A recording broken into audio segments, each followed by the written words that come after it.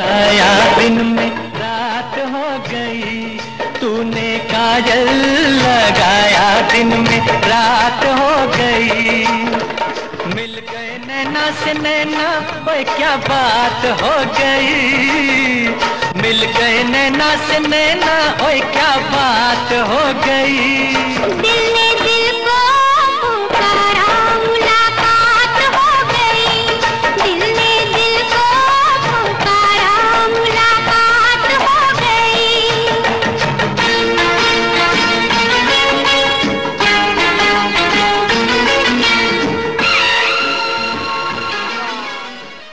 बहुत beautiful song हैं, आप हाँ, सोचें वाकई कि में। ब्लैक एंड व्हाइट का फ़ायदा यही है कि हम लोग भी जो है वो तरस जाते हैं हमारे कान पुराने गाने सुनने के लिए।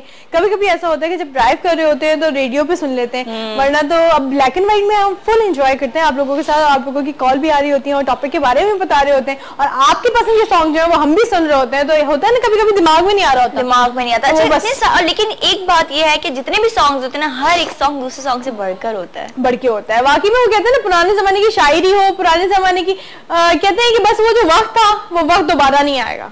कॉलर भी उनसे बात असला अस्सलाम वालेकुम। कॉल ड्रॉप हो गई अच्छा जो ये वक्त वापस नहीं आएगा ना ये वक्त की जो पुराने वक्त की जो हमें कदर महसूस होती है ना अपने बड़ों से सुन के होती है। अगर से वो कभी बात करते हैं ज़िक्र करते हैं कि पहले तो दौर में ऐसा होता था पहले ये होता था वो होता था तो लगता है अच्छा वाकई में अब क्यों नहीं होता? अब ऐसा क्यों नहीं आपको ये बताओ जिनकी जी ये वक्त हम पे भी आएगा। सही है ना तकरीबन? बारहवीं साल अच्छा हमें ये वक्त अच्छा लग रहा होगा। ये वक्त। और हमारे बच्चों को भी फिर ये वक्त अच्छा लग रहा होगा। बिल्कुल सही कह रही है इसलिए कि ये वक्त हर किसी पे आता है। ये एक कहते हैं ना कि एक टाइम चला। है और ये। टाइम चलता रहेगा जब तक ये कहते हैं कि दुनिया कायम है और इंशाल्लाह हमेशा कायम रहेगी।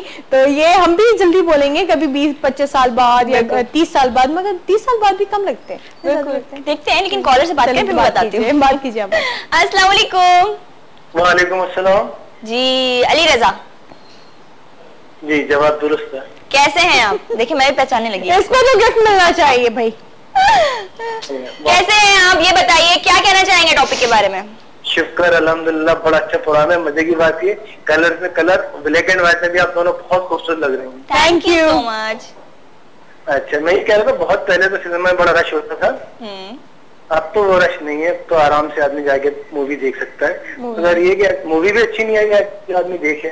सही बात है। तो अभी कौन सी ऐसी लास्ट मूवी है जो देखी आपने शौक से और आपको बहुत अच्छी लगी हो? मेरे को टाइटैनिक बहुत पसंद आई और Raiders of the Lost Ark अच्छा वही लास्ट थी उसके बाद कभी सैनमा नहीं गए? नहीं इसके बाद तो फिर फिर हो गए। फिर फुर हो गए। अच्छा फुल हो गए। अच्छा ये बताएँ कि अ, जो ये फ़िल्मों का जो बहरान था ये जो फ़िल्मों में वाकई में एक बहरान आया हुआ है पाकिस्तान में कि पाकिस्तान में पहले जो है वो सिनेमा इसलिए भरे रहते थे कि पाकिस्तान में हर महीने दो या तीन फ़िल्में अच्छी आती थी। शबनम के जमाने की आप बात कर लें या हाँ, मोहम्मद नहीं नहीं, बिल्कुल। आप वो देखें लास्ट टाइम वो जो थी एक फ़िल्म आईना थी। छोटे छोटे थे इतनी लंबा उसने किया है। मेरा ख्याल है फाइव ईयर चलिए टोटल वो मगर अब क्या हो गया? अब ये हर महीने में नहीं बल्कि एक साल में एक अच्छी आती है। अब तो ना फ़िल्म बन रही है ना वो डायरेक्टर है ना वो अदाकार है। हाँ। कमर्शियलाइज पिक्चर हो गई है। और दूसरी बात ये करूँगा गुलाबी आँखें और रुमाल मिला ये मुझे जबान याद हो गया। क्यों? गुलाबी आँखें जो तेरी देखी और रात में रुमाल मिला जबान याद हो गया। क्यों याद हो गया? बताया ना ये हमने बोला थोड़ी थी क्या आप याद करके हमें सुनाए। अल्लाह ना करे हम आपकी आवाज़ सुने। क्यों याद हुआ ये बताएँ? नहीं मतलब ये कि वीकली यही गाना आ रहा है तो जबान याद होगा डेफिनेटली ओहो तो आप हमारे शो की तारीफ़ कर रहे हैं। थैंक यू सो मच आप कौन सा गाना सुनना चाहते हैं? है ये कि आपको हम ऐसे गाने सुनाएँ जो कि बहुत अच्छे होते हैं और याद तो हो जाए एटलीस्ट जिस तरह आजकल के गाने हमें दो दफ़ा सुनने में याद हो जाते हैं और पुराने गाने हमें अभी तक नहीं याद है तो अच्छी बात है आपको याद हो गए। नहीं नहीं मतलब याद हो गया मैं ये कह रहा हूँ बिल्कुल मजीद और दूसरे गाने थे ताकि वो भी याद है। हाँ हाँ दें। चाहते हैं? अच्छा, मुझे गाना सुना दे। ए, अपना दिल तो आवारा न जाने किस पे आएगा। थैंक यू ओके जी अल्लाह यानी कि अभी तक आपका दिल किसी पे आया नहीं है आप अभी तक तलाश जारी है जल्दी से कर लीजिए अली रजा कोई ढूंढ लें और शादी कर लें हमें शादी की दावत दें और कहते हैं ना कि मिठाई शिठाई खिला दें ए, मैं आपको एक बताऊँ एक तो अली रजा साहब की शादी नहीं हो रही और दूसरी मेमन साहब की। बिल्कुल। दो लोग हमेशा कुंवारे ही रहेंगे ये बात हकीकत है लेकिन अभी मैं तो जा रही हूँ बिल्लो जी सॉन्ग पे और आप कहाँ जा रहे मैं जा रही हूँ ब्रेक पे इसलिए ब्रेक भी लाइफ में बहुत ज़रूरी है तो लव इंडिकेटर में ब्रेक है तो चलते हैं ब्रेक पर।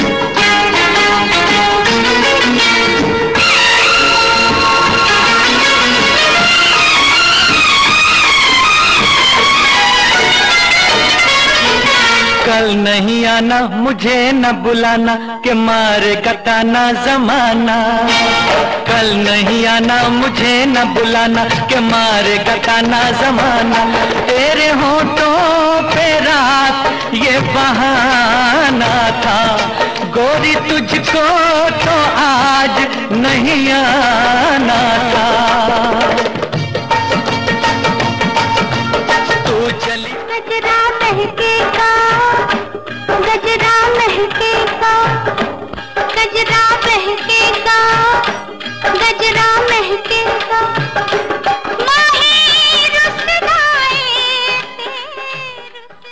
जी जनाब वेलकम बैक हम आ चुके हैं एक सॉन्ग और ब्रेक के बाद और इसके साथ ही ये भी बताते चले हमारे शो का टाइम खत्म हो गया है।